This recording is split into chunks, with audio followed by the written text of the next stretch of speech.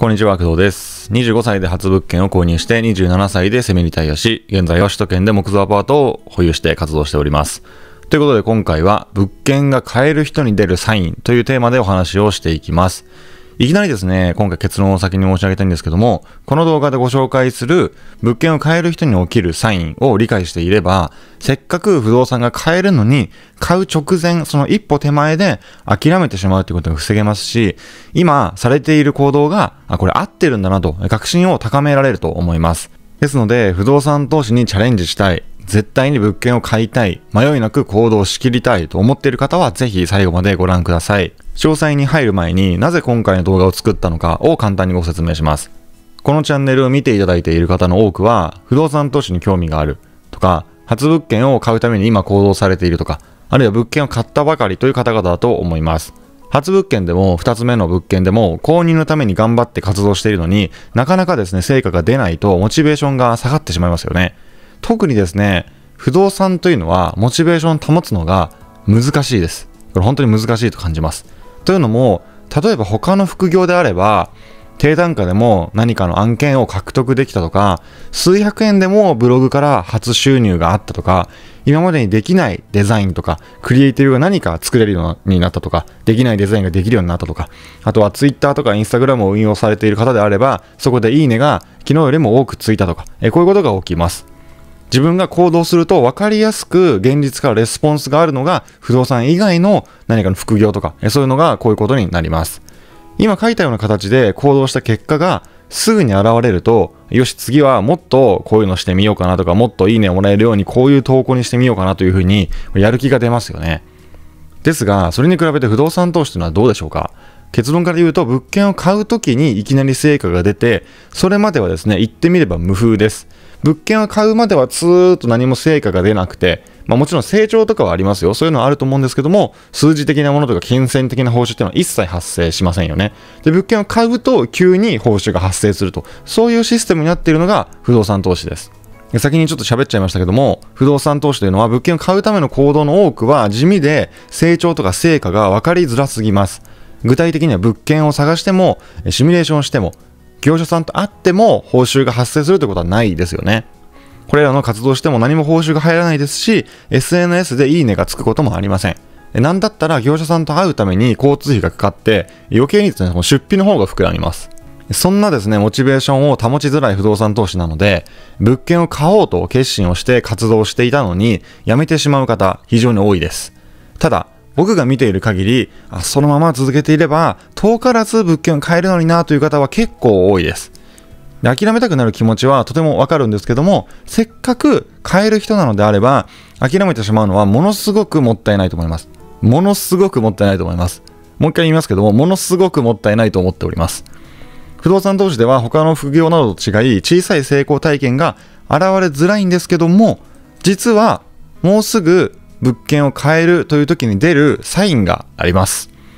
これはですね実際に僕も起こった現象ですし講座などで僕がサポートしている方々にも起こっているのである程度の共通点といいますか再現性がある話ですこれからお話しする現象が起こっていれば遠からず物件が買える可能性がありますので当てはまる方はぜひ諦めずに頑張っていきましょ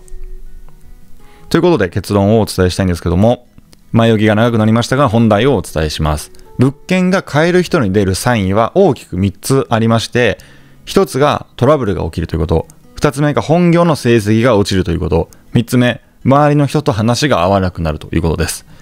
ちょっとね、あの全部ネガティブなことなんであれなんですけども、それぞれどういうことかご説明をしていきます。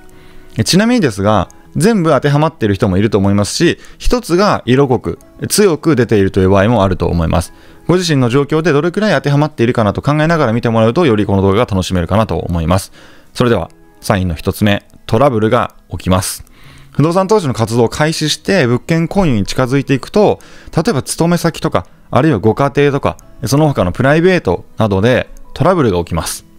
で、これはですね、あれ、今まではこのやり方でうまくいっていたのに、同じやり方したらちょっとうまくいかないな、みたいな小さい違和感から、例えば〇〇さんと意見が合わずに揉めたとか、大きめのことなど、ケースはですね、様々なんですけども、何かしらトラブルが起きます。で、これはですね、なぜこういうことが起きるかというと、今までの生活の流れの中に不動産投資の活動という新しいことを入れるので、これ良くも悪くもですね、歪みが生じるんですね。今までと同じことを繰り返していれば、まあ、安定というか、まあ、安定も安くとどまるって書くので、ちょっとね、その辺も何とも言い難いんですけども、安定しているので、大きなトラブルが発生するということはないんですが、その生活の中に不動産投資という、しかもめちゃめちゃこの不純物といいますか、異物なものを入れるので、歪みが出るということなんですね。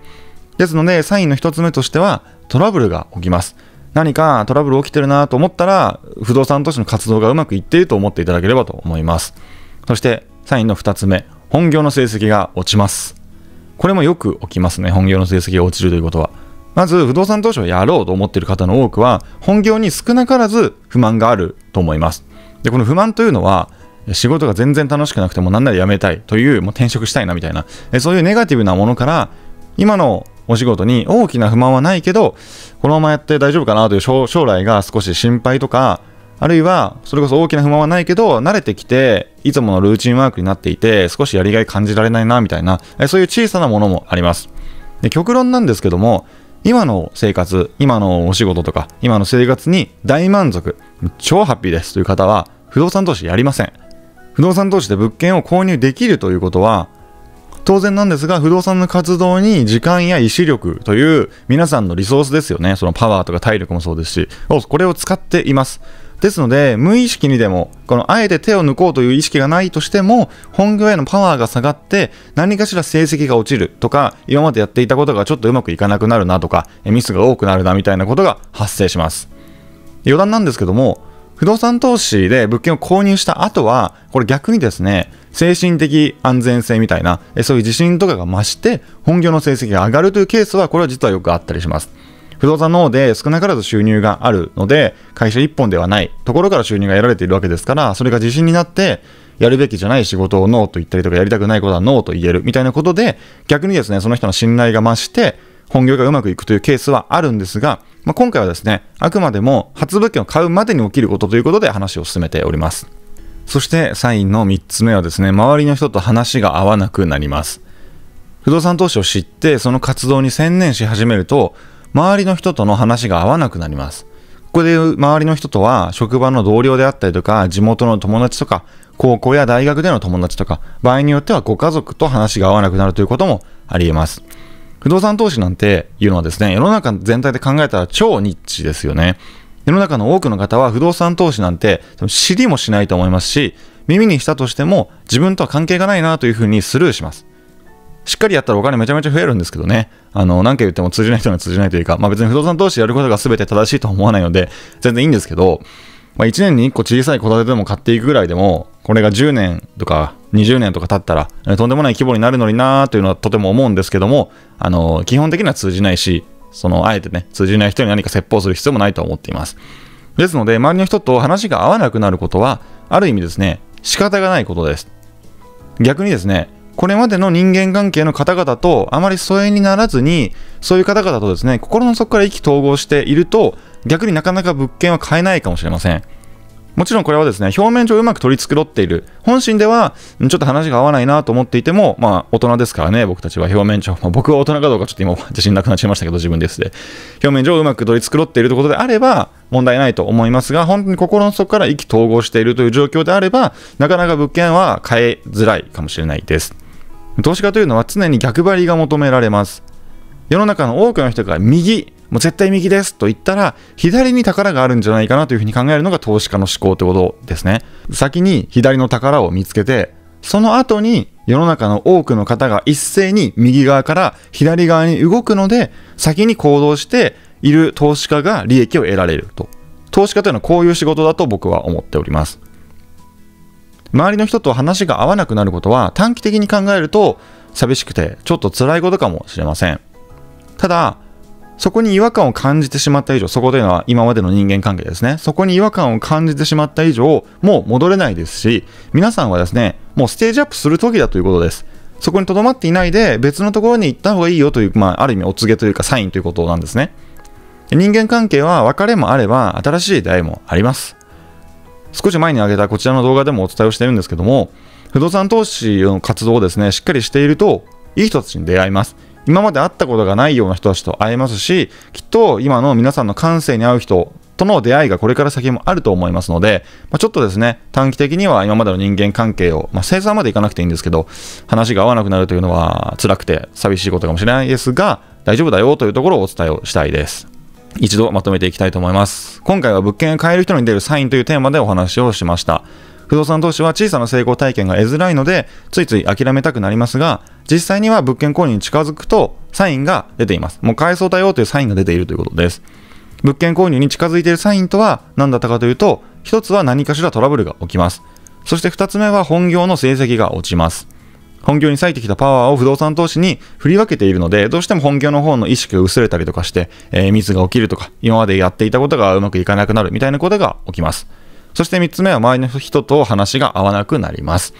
世の中の多くを占める消費者と投資家っていうのは考え方が違うわけです。皆さんはもしかしたら最初は投資家じゃないですね。ごめんなさい。最初は消費者の方だったかもしれません。僕も完全にそうでした。そこから投資って面白いな、投資家っていい生き方だなと思って、その投資家の方にシフトをしようとしているわけですので、話が今までの方とはだんだん合わなくなってきてしまうよということです。どうでしょうか？何か当てはまることはありましたでしょうか？一つが強く、これめちゃめちゃ当てはまるなというものもあれば、えー、まんべんなく3つですね、全部当てはまってるなというケースもあるかもしれないですし、逆にですね、全く当てはまらないということもあるかもしれません。まあ、自分こんなんだよということがあれば、ぜひコメントで教えていただけると、僕も学びになりますので、えー、ぜひですね、何かアウトプットいただけたらとても嬉しいなと思います。ということで、物件購入に近づくと現れるサインをご紹介してきました。で、冒頭でもお伝えしたんですけども、不動産投資は物件を買うまでは本当に地道ですし、報酬も発生しないものなので、モチベーションを維持するのは難しいですよね。ですので、不動産投資というのは、やっぱりですね、諦めそうになりますよね。まあ、でもですね、もう諦めるなというのをお伝えしたいと思います。もう諦めるなって言うしかないです。もう、気力の問題です、本当に最後はいろいろお伝えをしてきたんですけども、諦めるなということです。不動産投資に気がついてしまったらですね、もう元の生活や元の自分には戻れません。ここからちょっと僕の余談パート始まってまして、ちょっとあの言いたい放題言うんですけども、元の生活には戻れないし、元の感性にも戻れません。もう気づいてしまっている以上ですね、戻れません。あっちのスーパーの方が卵安いなと気づいてですね、卵安くないスーパーに卵買いに行き続けますかってことなんですよ。もう、不動産投資いいなってこっちの方が生活が豊かになるかもなって気づいてしまっているんですから、もう戻れないわけでございます。世の中のみんなが不動産投資というシステムとか金融の仕組みっていうのを理解できるわけではないんですよ。あの、ちょっと先にもお伝えしましたけども、不動産投資いいよ、こういう風にやった方が人生豊かになると思うよ、みたいな話をしても、まあ多くの人は自分事として捉えないですし、まあ捉えたとしてもあんまり興味を持たないというか、まあとにもかくにもですね、あんまり話が通じないというか、ディスってるわけじゃないんですけどね、ディスってるわけじゃないんですけど、あの、理解できるわけではないんですよ。でそんな中、そういう仕組みを理解できて、その不動産投資って魅力に気がつくというか、まあ、理解できるってことですかね。魅力に気づいて、なおかつ行動し始めている。これ小さなことでも大丈夫です。行動し始めている皆さんは選ばれている人だと思ってます。僕は。何に選ばれているかは知りません。神様でも仏様でももう何でもいいです、この際。選ばれてます。皆さんは。本当に多くの人は気づきません。一生気づきません。そのまま人生を終えます。多分多くの人は。まあ、それで幸せなら全然僕はそれでいいと思いますけども、え僕は今の世の中非常に怖くて仕方がないので不動産投資してますが、あの一生気づかずに多くの人は過ごしていくと思います。でですね、そんな中、気がついて、皆様ですね、選ばれてしまったらもう引き返せません。なので、諦めるなってことです。頑張れってことなんですけども、引き返せないわけです。世の中は選ばれたら引き返せないようになっております。一回ですね、変なフルーツを食べて体が伸びるようになっちゃったらもう海には入れないし、海賊王になるしかないんですよ。妹が鬼になってしまったら、鬼の総本山を倒すしかないですし、変な指を食べて呪いの王が権限しちゃったら、指20本集める旅に出るしかないですし、一度ですね、白い人型のロボット兵器に乗っちゃったら、謎の赤くて3倍速いライバルと戦い続けるしかないようになってるんですよ。まあ、急にアニメ好きなんでアニメの話しちゃいましたけども。なので、もうここはいいんですよ。理屈の話とかじゃないんです、このパートは。もう、頑張ろうってことです。諦めるなってことなんですよ。選ばれてるんだから。普通の人じゃないんですよ、不動産投資なんていいなって思ってそこにトライする人は。で、それはいいことだと思います、とても僕は。ですので、頑張ろうってことです。諦めるなということです。で僕もですね、YouTube 諦めずに、あの、これからはですね、更新していきたいと思っていますので、諦めそうになったら、あの、駆動チャンネルの方に戻ってきてもらって動画見ていただければいいかなと思っております。ということで、最後、謎の精神論になりましたけども、最後まで動画を見ていただいてありがとうございました。概要欄の LINE にてもう少し詳しく不動産投資が学べる無料講義もお配りしていますので、興味があれば見てみてください。今後は不定期で個別相談なども開催していこうかなと思っております。この動画が少しでも役立ったなと思ったら、グッドボタンを押していただけると嬉しいです。今後の動画を見逃したくない方は、今のうちにチャンネル登録とベルマークのタップもよろしくお願いいたします。動画の感想やご意見などあれば、ぜひコメント欄で教えてください。それでは次の動画でお会いしましょう。いつも最後まで動画を見ていただいてありがとうございます。引き続きよろしくお願いいたします。